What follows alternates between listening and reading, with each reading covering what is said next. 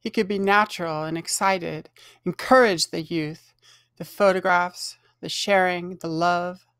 Take a ride in that Thunderbird, like the one his father owned back in 1980.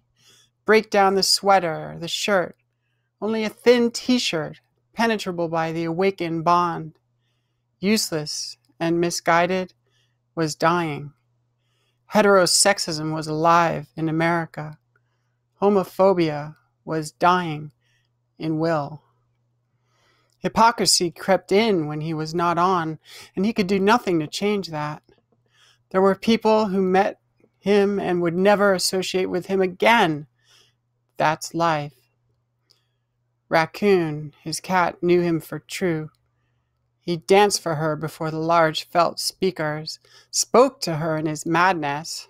The tonality in his voice expressed more than the words themselves, the emotional planes. He could not tolerate that life settled on him. He grew restless and more reclusive. There were faces in coffee houses he had seen before, and they had groups. They were static, and not so happy, some of them. Others acted very happy or espoused neuroses. The latter were those with whom he held company, for he found them never dull and thoughtful, sensitive enough to have been affected by the city, by the world in a genuine way.